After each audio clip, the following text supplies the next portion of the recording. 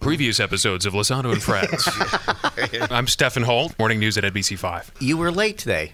I was late. I- I'm you- sorry. And you said you were coming from the airport. I thought, well, maybe he was doing a story, or maybe you just flew back in from a trip. But no, what were you doing? I was flying. I was flying the airplane. you yourself. That's you're it. a licensed pilot. Yeah, pilot. Ted Striker style. I, um, I The am a rest of us took cars and walked.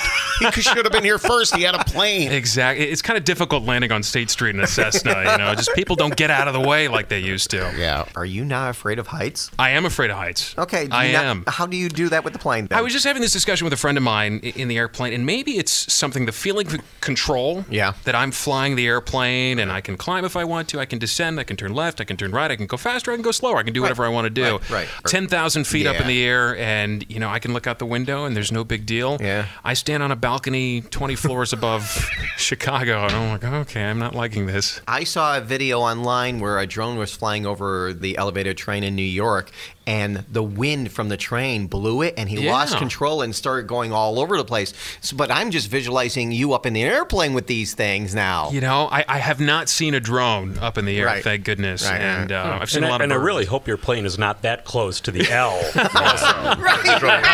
That's a whole other set of problems. on the left side of the airplane, you'll see the brown line. Uh, Get more Lossano and Friends now on lossano.com.